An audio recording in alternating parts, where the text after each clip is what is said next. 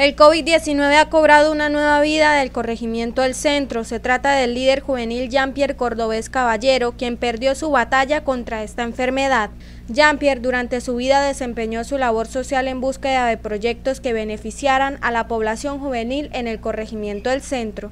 Su pérdida inesperada fue dada a conocer este martes en horas de la noche. De inmediato sectores sociales y políticos lamentaron su fallecimiento. Jean-Pierre será recordado por su calidad humana, su sencillez y respeto por las comunidades.